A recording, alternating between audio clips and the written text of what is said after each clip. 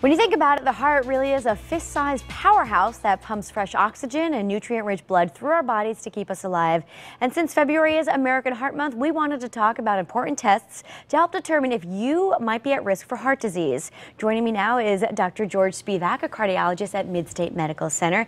Doctor, I think a lot of people are aware that heart disease is the number one killer for men and women, but what they might not be aware about is that it's so preventable.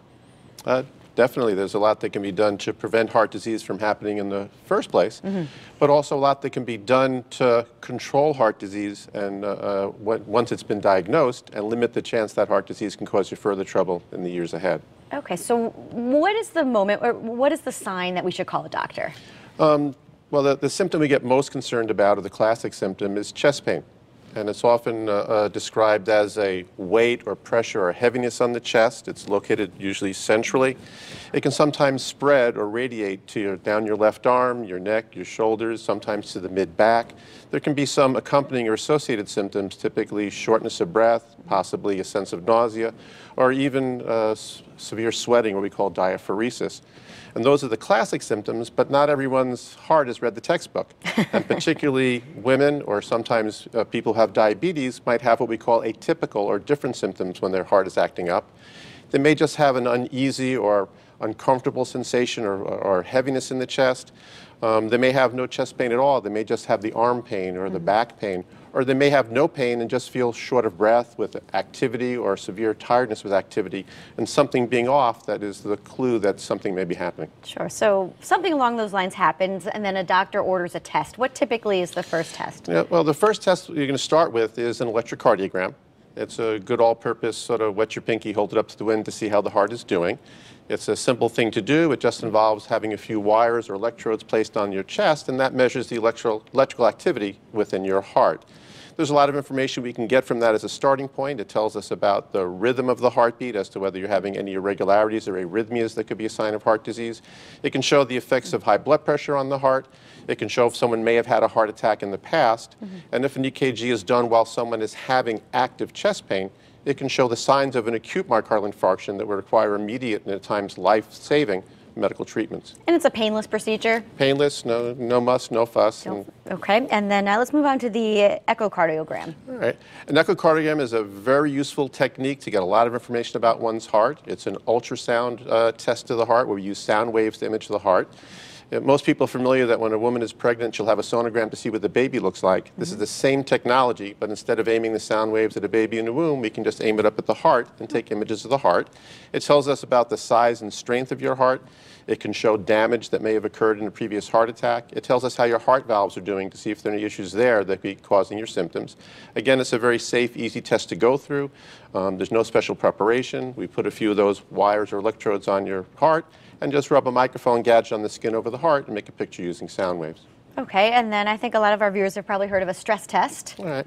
If chest pain is the concern, and the concern is do you have coronary artery disease or a blocked artery in the heart, uh, the stress test is the way we start. There are a variety of different stress tests we might do. The starting point is a standard exercise stress test, mm -hmm. and that's the medical equivalent of taking your heart out for a test drive. Again, we'll have you hooked up to some wires or electrodes similar to electrocardiogram and take you for a walk on a treadmill. We'll start at a modest pace with a slight incline, and over the course of several minutes, based on your degree of physical conditioning, we'll raise the treadmill up, get it going faster, get you working harder, get you huffing and puffing, and get your heart in the left lane going above the speed limit and see how it performs. We see if you're having symptoms, we see how your blood pressure is doing, and we can look for characteristic changes that might occur on the electrocardiogram that might tell us whether or not uh, you have underlying coronary artery disease. Okay. And though the stress test is a very handy test, it does have its limitations. Um, certainly if one does a good job on a stress test, it tells us with a high degree of reliability that your heart is good. But uh, uh, there are times that the, the stress test doesn't give us all the answers or basic stress test doesn't. We need to move on to some more uh, uh, what we call imaging stress tests that give us more information. We can combine echocardiograph or echocardiology techniques with the stress test that give us more information. Or at times we can use nuclear imaging techniques to give even greater accuracy to what the stress test may tell us. Mm -hmm. Now with the nuclear stress test, you'll do the same type of exercise that you would on a treadmill, but you'll have an intravenous in your hand, and as you exercise, you'll be injected with a radiopharmaceutical or nuclear medication. And this medication, which is a radioactive medicine, can travel through the bloodstream, settle in the heart, and give us even more accurate information about how your heart is doing on special imaging techniques we do after you exercise. And that's safe for patients? It is safe. Um, you know, it is medical radiation. Um, uh, uh, again, uh, uh, we always, when it comes to using radiation, want to use the least amount we have to to keep things safe for a patient. But actually, the doses that we're using here, though theoretically can cause harm, they've never actually been proven at this level to individually cause harm to a patient. Mm-hmm. The amount of radiation involved is similar to what would take place if you had a CAT scan, per se, or we're all exposed to a certain amount of natural radiation just living on the planet. And the amount of radiation in a typical stress test is comparable to what would happen just living three years on the planet. Hmm.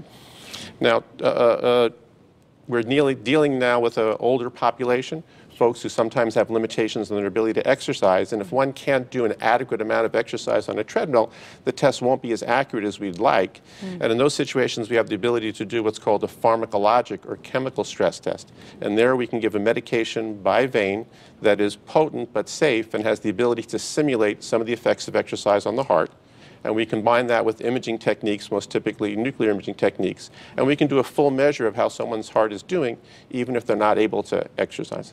Now, doctor, are, is there a certain age that these tests should be like a preventive measure, or is this just after you're having symptoms yeah, or possibly a problem? that's uh, uh, somewhat debatable in the medical literature, but there's no set standard that's saying mm-hmm. that a certain age you should have a screening test like this, like there would be, say, for mammograms mm-hmm. or colonoscopy or something like that.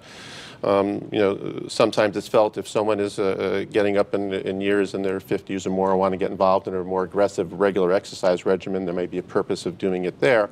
But typically it's a symptom that would trigger the need to okay. move ahead and get a stress test. And all of these tests are offered at Midstate Medical? They're all offered at Midstate Medical Center. The, um, again, the electrocardiogram is something that would typically play, take place in your family physician's office. That's mm -hmm. something they would do and use that as a starting point.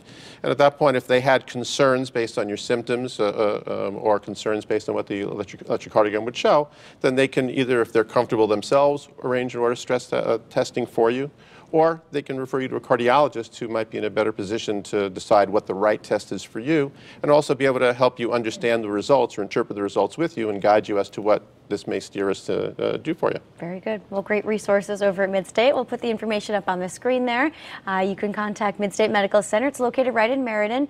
Uh, you can call 1-800-DOCTORS or simply visit midstatemedical.org. Doctor, thank you so much for all the information. Yeah, thank you.